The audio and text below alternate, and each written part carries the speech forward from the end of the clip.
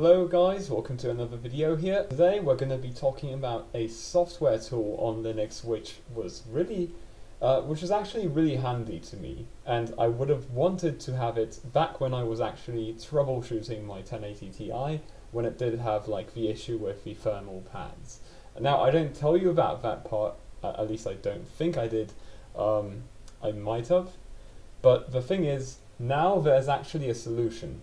So if you don't know, uh, the thermal pads on a GPU, they're, they're so that your actual VRAM chips and other parts of your components, but mainly the VRAM chips, because those are the ones that really get hot, uh, can be like monitored. So have you ever thought, if you're on Wayland, and on Linux in general, um, why can't I view my VRAM temps? Well, that day is over, my friends. I mean, it's over for a while now. I believe it was like two months. But like, if you haven't known, this is Lact. Now, Lact is like a GPU overclocking utility, um, mainly, but it also does a lot of other stuff. For example, it just shows you information on your actual GPU, which I can change. Actually, I can't because the other GPU is not assigned a, dri driver to. At least it's assigned a VFIO driver, which doesn't make it appear to the Linux kernel. If you want to see that, we can run Fastfetch, and as you can see here, we've got two GPUs, which of which the second one is my actual V um, VM GPU. So yeah, here we go. We've got the GPU model. It says uh, 3090 uh, EVGA um, because that's the manufacturer of the board. We have the card model, which is still unknown. So it still has some room to improve if you guys know how to actually contribute it to this or like um, basically uh, differentiate the different like card mo model numbers. Go ahead and help the project. But that aside, let's go ahead and see uh, it just shows you the actual driver number here, the VBIOS version, the actual memory uh, thing, the uh, architecture, of the CUDA cores, the ROP count, uh, the, GG, uh, the type of VRAM it's actually using, the uh, level 2 cache, the uh, status of re resizable bar, which, by the way, if you want to run a macOS VM, make sure you disable if, if you're using a pass-through GPU. We've got CPU accessible VRAM, which is yeah, it's dependent on resizable bar. Of course, it's it's not that much. I mean, I personally would rather have macOS so I can edit my videos over like higher speeds of like loading stuff. So yeah, and we've got the link speed.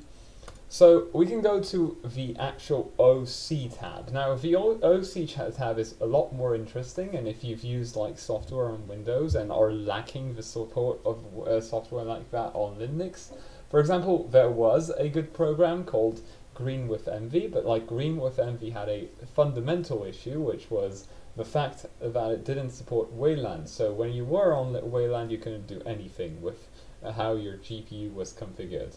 So with Lact actually, and in the summer, where, where it's actually really hot where I live, so as you can see, we're running at like around 40. Now it's, uh, at the winters, it's also really cold, so it's like not a mild uh, climate here. Um, I really do need tools like this to not make my home like a space heater, especially with like an i9-1090 in ATXE and a 3090 in my system. But yeah, that said, we can go and actually explore this tab a lot in a lot more detail.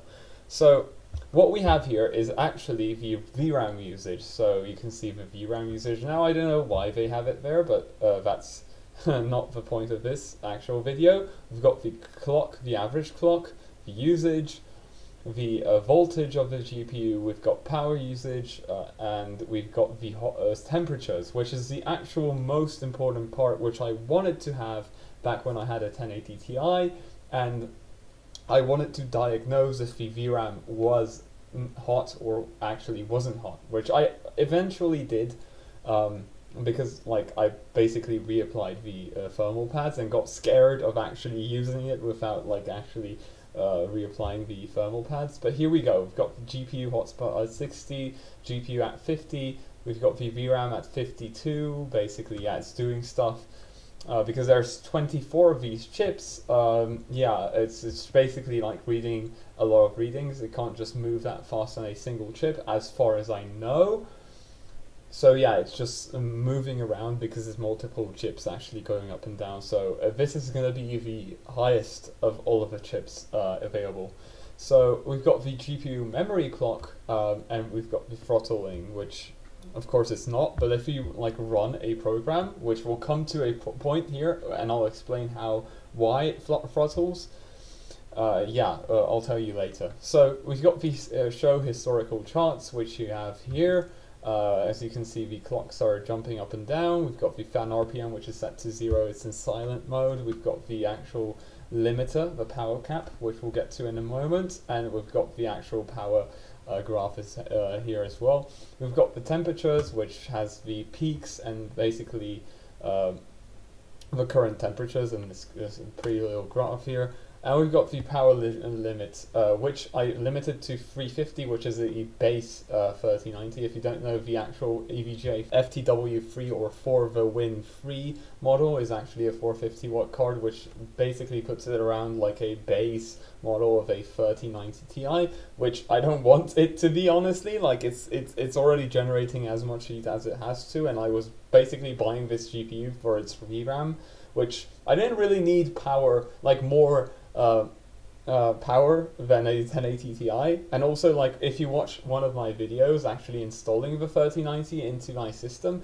you'll see that it has like a, an issue with um, actual clearance to actually draw in air. And this is what actually makes it, it viable to run a 3090 in my system. So if I didn't have LACT, um, my GPU might have already been dead. Now, that is why this is really important to have so as you can see here, we've got the P state, which basically makes your GPU turbo less, which I also did. This is for the summer. It actually uh, stays under control during the winters and also now as well. It just goes to a higher RPM, and I just didn't want to hear the sound, so I just lowered the clocks until I actually um, stopped making the insane amounts of noise it already did and you can also do it to VRAM which I haven't experimented with also because like the VRAM doesn't actually go higher than a certain degree of actual um, Celsius.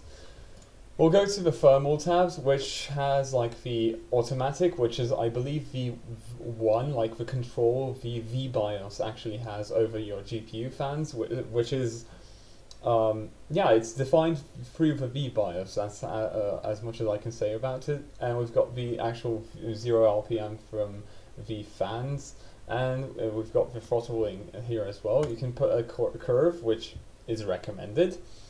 You can also put it static, which is, if we do, it's going to ramp up the flat fans, when I'm not going to do that because I really don't want to do that. So yeah, here we go. And we've got the software. Now this tab is not really interesting, it's just like the um, previous one, but I'll go through this as it's like a whole exploration of the software called LACT, this video. Um, so yeah, let's go ahead and see. So first of all, we've got some uh, facts about the uh, LACT uh, version and also the kernel version for some reason. Yeah, it's a system basically. So we've got the LACT da daemon, um, which is the 0.8.0 release and we've got the co commit number there, and the same version is applied to the GUI. Now I don't know if you can have like different LACT daemons or uh, and GUIs coupled to each other, which I I don't think I recommend if, if it's even possible. And we've got the kernel version, which is the 6.15.6. We've got the Vulkan um, information, which is the device name, which uses the 3090 by default API version, uh, and you can see the Vulkan version there. You can see the driver and the driver version. You can see the features, which we have to press show, and we've got multiple features here. And it also shows which features the GPU does not support, which might be like some 50 or 40 series features which are not available on 30 series. You've got the extensions, or maybe like AMD exclusive slash Intel exclusive features, and we've got the other features here.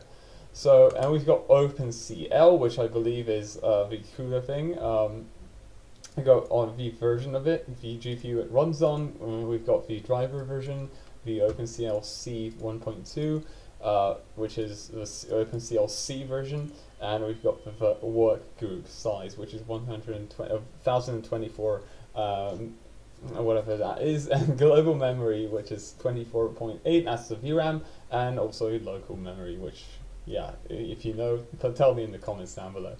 So yeah, that's basically Lact. Now, the main thing you have to worry about here and ba basically check is these two pages. The other two don't really matter.